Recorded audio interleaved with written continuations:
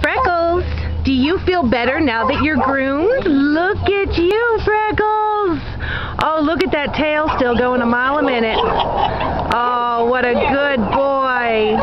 And yes, it is a boy, even though I have a pink collar on him. And I apologize, but that's all I had. Poor baby. Oh, look at how good you look.